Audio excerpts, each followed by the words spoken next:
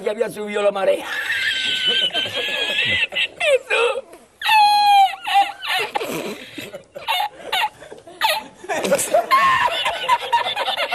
Jesús. Había subido la marea y encontré una paella.